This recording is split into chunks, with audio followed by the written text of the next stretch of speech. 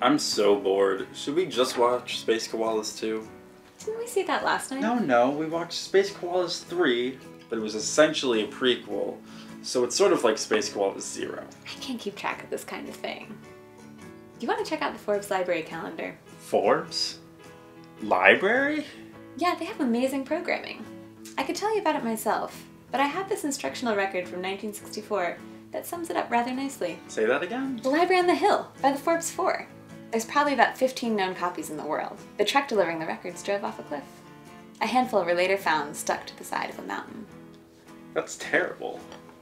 Well, no one got hurt. Oh, good. Well, the accident did wind up ruining the Forbes 4's career. Oh, man. But they made out well in an insurance settlement. That's a positive. But they were later indicted on embezzlement charges. And? Um, as far as I know, they're all still in jail.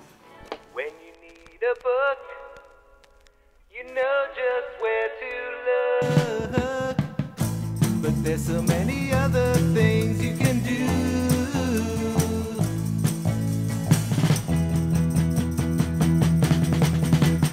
Author talks and story time. Pet a hedgehog or watch the birds.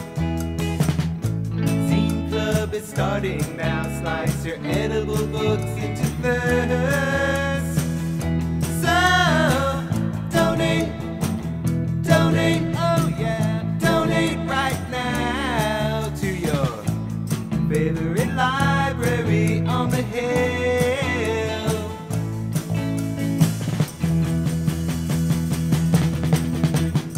Writing groups and movie shows.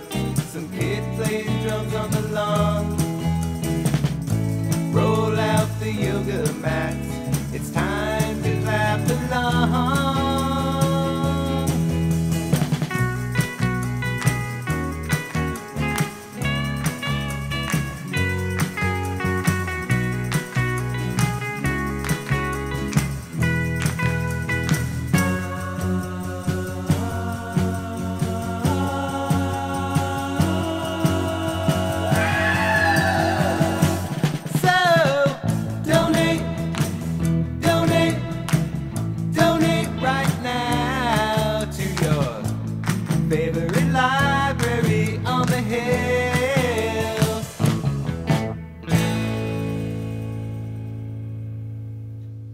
So what did you think?